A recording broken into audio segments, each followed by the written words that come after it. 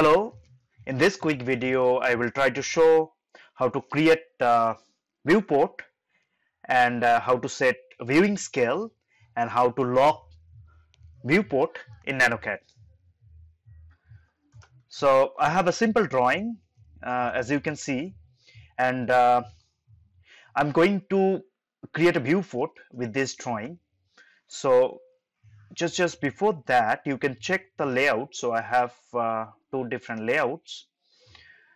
So I'll, I'll go to model space. Before that if we can just go to layout and try to set a new paper. So just click on uh, page setup and uh, click on edit. And now I can see the paper that is uh, used in this case. So I'm going to change the paper size to something um, ISO A0 and I'll say uh, landscape and apply and close it. So now I have the new paper on the layout one. Let's uh, go back to model space and uh, now in the ribbon I'll go to view and uh, I'll go to this uh, borders. And I'll create a rectangular viewport click on that. And uh, so I just want to create a viewport with the entire drawing. So I'll, I'll take the drawing and I want to use the layout one. So I'll choose uh, layout one and click OK. It will take me to layout one. And now it, it says that uh, to set the scale viewing scale I would say it should be 1 for now. So I say yes it should be 1 and now it says uh, specify the viewport center point. So I'm specifying as you can see it's not matching uh, the scale at all.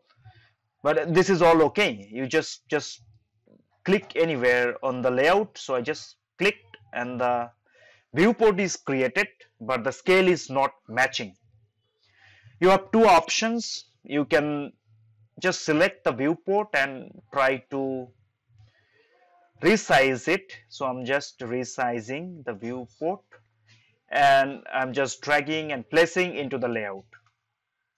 This is it. So now if I select the viewport you can see all the properties related to this viewport this created viewport and now I mean you can always go and double click inside and you can say zoom all. So all the drawing will be fit into the viewport. So now you can uh, double click outside of the viewport and click the viewport again scale of the viewport created viewport.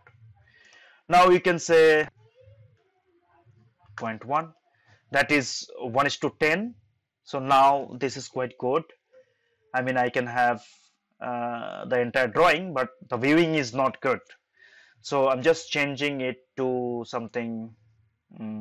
okay let's um, set the scale to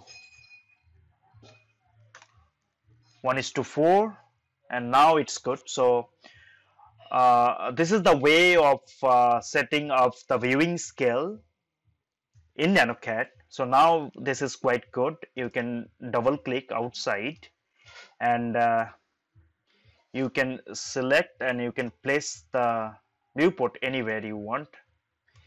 And uh, again, if you double click back inside, now the view can be adjusted.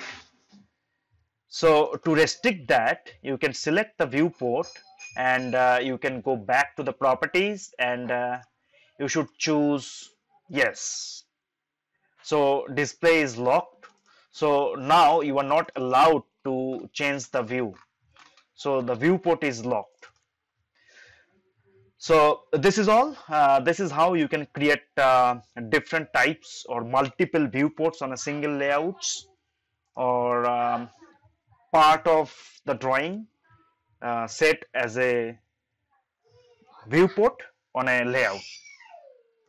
Thank you. Thank you very much for your time. Bye-bye.